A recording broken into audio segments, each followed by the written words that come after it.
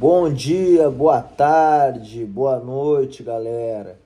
Eu me chamo Thomas, sou advogado em processo civil, processo de empresas, empresarial, compliance, gestão jurídica, e eu vou passar um pouquinho da minha visão do direito, minha visão jurídica para todos aqueles que recém se formaram ou advogados que querem exercer atividade.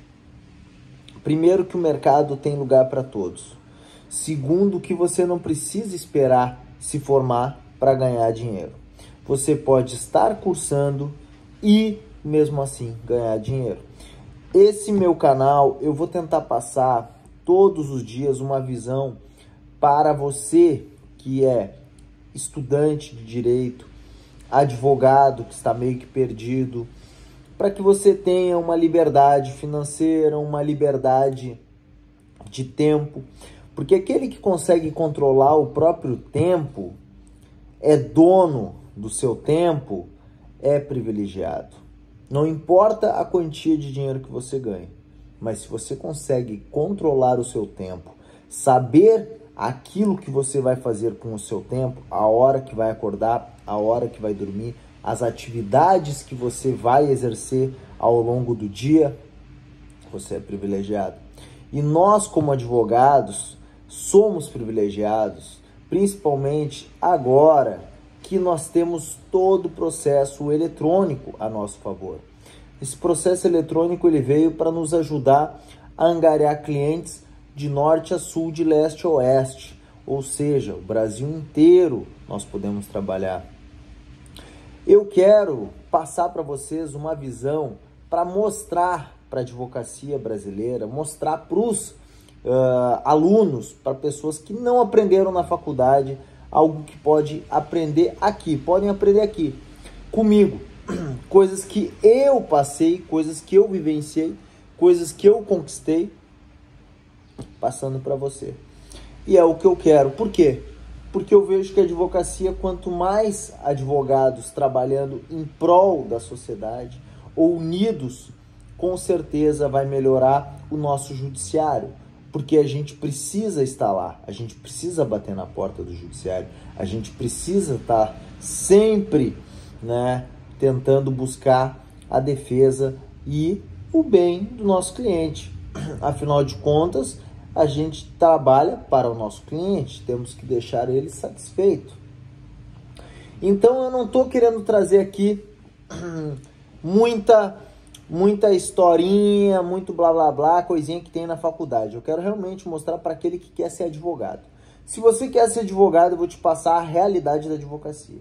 E é para isso que eu fiz o canal, porque eu percebi essas dores quando eu era estudante que não tinha não tinha muito, não tinha professores que me passavam a visão do que eu aprendi no dia a dia. E é o que eu quero passar para você. Então, para você que quer começar na advocacia, a primeira coisa que você tem que ter a carteirinha da OAB. Ah, mas eu não tenho, não sei o que e tal, tal, e só choradeira. Cara, a carteirinha da OAB, você vai na OAB, tá no quinto, sexto semestre, tem as cadeiras que são obrigadas, você vai lá e pega. A mesma situação que você tem para pegar a carteirinha da OB de estagiário é a mesma para pegar a OB original. E com essa carteirinha da OB de estagiário, você já é advogado. Ah, não, mas eu sou estagiário. Não. A mudança do advogado está aqui, ó. Se você acha que é estagiário, você está certo. Se você acha que é advogado, você também está certo.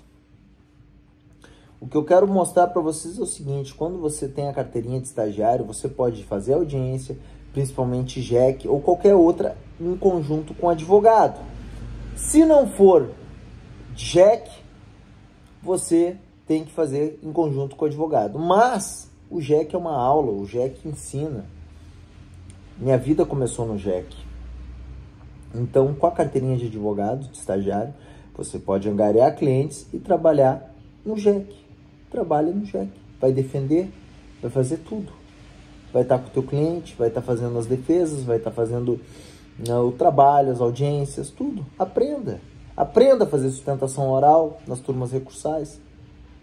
Ali, é um aprendizado e você tem que pegar os seus clientes. E quem são os clientes? São seus amigos, familiares. Pega causas pequenas, trabalha, pega gosto. Ah, mas eu acho muito difícil, muito difícil. Não sei que hoje em dia eu vou passar no, vou passar aqui no, no meu canal várias técnicas de petições, formas de, de conseguir, formas de trabalhar, como conseguir, como trabalhar, como buscar, como estudar, como ir atrás. Na medida que eu ver que os vídeos vocês forem curtindo, forem gostando, eu vou passar mais coisas. Né? Eu vejo por quê? Porque eu penso o seguinte: se vocês entenderem o ritmo da advocacia quando estão na faculdade, assim que vocês se formarem, vocês não vão passar dificuldade, muito pelo contrário, vocês vão estar apenas continuando aquilo que vocês exerceram na faculdade. Por isso que a carteirinha da advocacia, a carteirinha de estagiário é muito importante. E eu pontuo aqui justamente porque você vai estar advogando para seus amigos, para as pessoas que estão na sua volta. Claro, vou passar estratégias também de captação de cliente, mas isso é mais para frente. Eu quero apenas passar aqui para que você abra sua mente para ter a carteirinha de estagiário, porque a carteirinha de estagiário, ela realmente ela é diferenciada. E ninguém vai dizer, ah, é uma carteirinha de estagiário, é uma carteirinha de advogado, porque ninguém conhece. Só quem estuda na advocacia e quem pegou a carteirinha que sabe, por conta da cor. E é isso que muda. Então, muitas vezes eu passei, fui nas varas, fazia tudo e era como se fosse advogado, porque ninguém sabia a diferença das cores, porque tem diferenças em cores para aqueles que trabalham no conselho, aqueles que trabalham dentro da OAB, aqueles que trabalham uh, como presidente, entendeu? Vice, eles ganham uma corzinha da carteirinha diferente. Então, geralmente o pessoal não sabe, né? Tem a básica que é vermelha, mas essa daí também passa lisa e é bonita a carteirinha. Até hoje eu devo ter ela, não sei onde eu guardei, mas devo ter. Então, esse, essa é uma dica de milhões que eu passo para todo mundo. Primeira coisa, pega essa carteirinha de estagiário e aí comece a advogar para seus amigos. Ali você vai dividir os meninos dos homens.